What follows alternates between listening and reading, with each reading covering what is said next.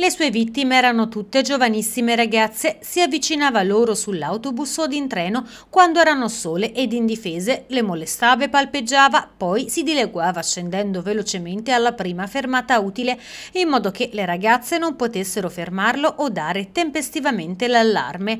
Ma adesso gli agenti del commissariato di polizia di Montevarchi sono riusciti a rintracciare il molestatore seriale di viaggiatrici. Tutto era iniziato nel maggio scorso quando la madre di una quindicenne valdarnese si era rivolta alla polizia per sporgere denuncia nei confronti di un uomo che sulla tratta ferroviaria Montevarchi-Arezzo aveva molestato la figlia.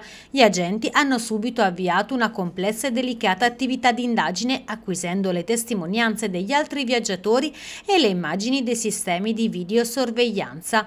Il molestatore, un quarantenne egiziano domiciliato in provincia di Firenze, già noto alle forze dell'ordine per analoghi fatti risalenti all'anno scorso, è stato così identificato. Per quest'ultimo episodio l'uomo è stato sottoposto ad un'ordinanza di misura cautelare emessa dal GIP del Tribunale di Arezzo, ossia l'obbligo di presentazione alla polizia giudiziaria e l'obbligo di permanenza notturna.